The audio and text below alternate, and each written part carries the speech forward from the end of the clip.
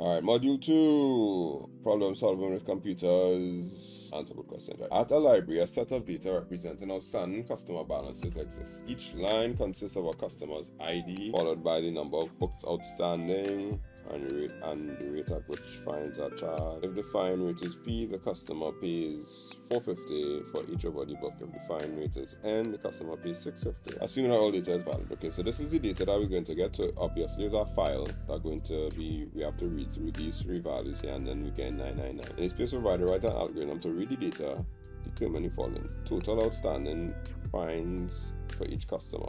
So let's go through what, what each piece of data represents and we could write it. Each line consists of a customer's ID, so this is ID, followed by the number of books outstanding, so this is number of books, and the rate at which fines are charged, so this is R for rate. If the fine rate is P, P is 450 and N is 650. So the variables that I need to have will be ID and an R. Okay, the total outstanding fines for each customer. So the first customer will be you're basically multiplying um, n by whatever the rate is. Total amount of fines paid under each of the categories n and p. Alright, every time you do an n, you'll have to add it up, calculate it total number of fines paid overall so we had to create a variable for total. And any number of customers we'll have to keep account. Customer id for the highest fine paid we'll have to put in our max. All right it's probably a 15 mark question here all 15 marks all right okay. So we're doing an algorithm so it doesn't have to be code. So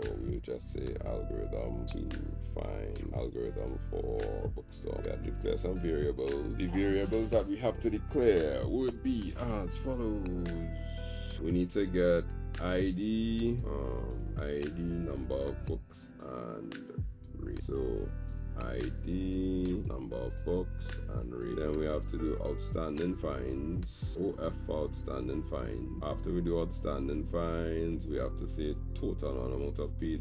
So we have to get N total and P total. After we have N total and P total, what we're looking for again, we have to get total total and count of customers. So we have to get total and count customer count. As it? Oh no, we also have to get my. Alright, so just set everything to zero at the start. Nobody will get back to if you do. Right, start. What are we going to start by doing? We're going to read the file. We have to say open file. Open file and read mode and then we're just going to say save all data valid. So we could say um, read ID. File ID is not equal to 9992. So while the ID is not 999, what do I want to do? I would read the other two things. I'll read the N and read the don't know what the other N and R. Then I want to say if R is equal to E, then OF, which is what did I name OF for? Outstanding fine is equal to N multiplied by 450, 4.5. And then I need to find the total.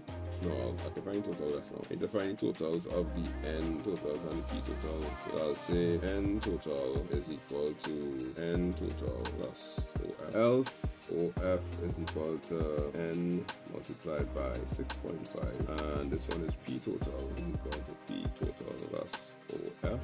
And then I will end this and as soon as I finish now I can say total is equal to total plus OF because whichever one it chooses doesn't matter. It's going to have to add back up to the total. And I found the total um, number of customers that just account 35 so now I want to check the max now? Yeah Okay, if OF is greater than max, then max is equal to OF. Right, I'll find the, the outstanding fines and check to see which outstanding fine you're on and how much it will cost. And any number of customers, well, once we get a valid customer, we say count plus plus. Count is equal to count plus one. And then we could end the while and that should get us there. Alright, so it said read the data and determine the following. So didn't ask for us to print it out at the end. So did we determine everything properly? The outstanding fines for each customer, which will be the N by the R. Yes, we did that. The amount of fines paid for N and P. Yes, we have the N, N total and the P total. Um, the amount of fines paid overall. We have the total total after the two ifs. I mean, after the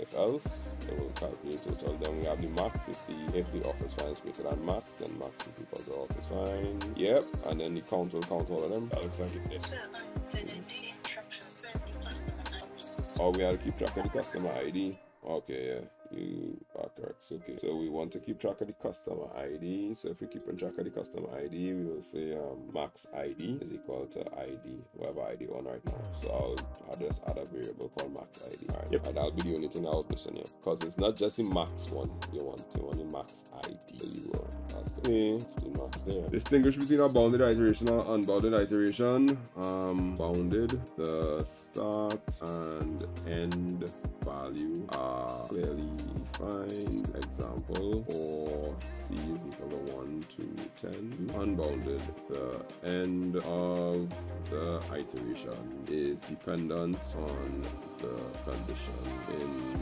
the while example while c is greater than 10 right see write an algorithm to find the sum of all multiples of 7 between 21 and 210 inclusive yeah, um, 4 c is equal to 21 to 210 do if if if if, if c mod 1 is equal to 0 then sum is equal to sum plus c because mod will figure the multiples fit. Is it? It's marks, man? I don't know.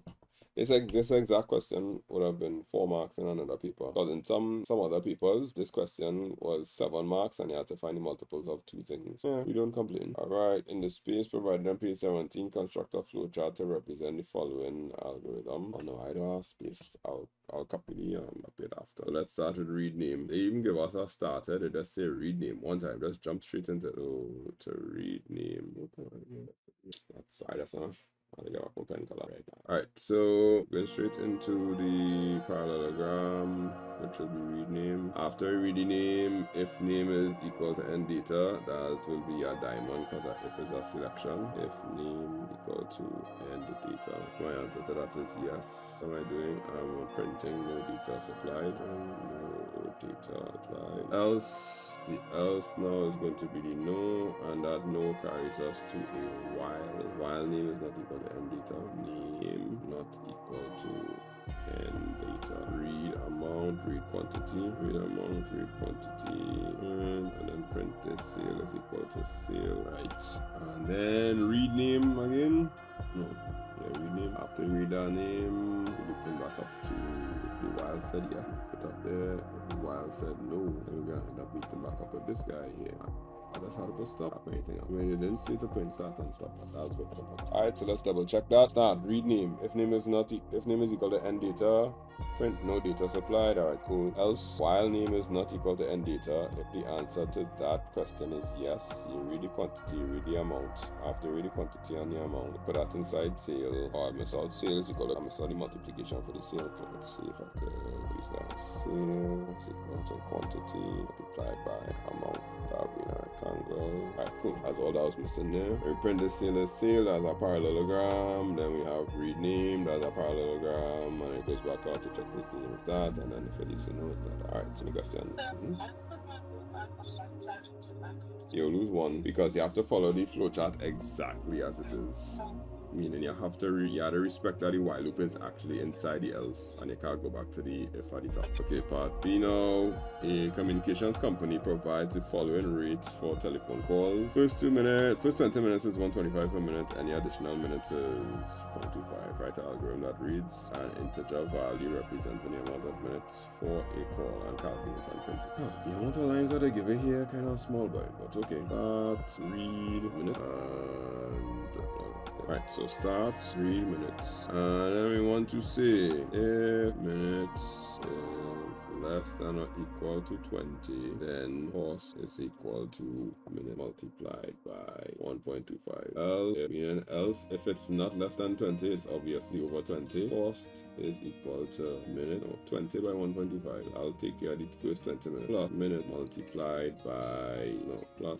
0.25, which is equals multiplied by minute minus 20. Um, and then print total for Alright, yeah, so there's no other way to do that one besides with the else if. Is basically all they have. Our company sells video games and wishes to acquire software to track purchases. Um, Alright, so the company is selling used video games Software track purposes, customer information, quantity of video game and stock. company has contracted with so com- services a software company called Software Plus, which writes software applications. Briefly describe any four stages that Software Plus would generally follow when creating software.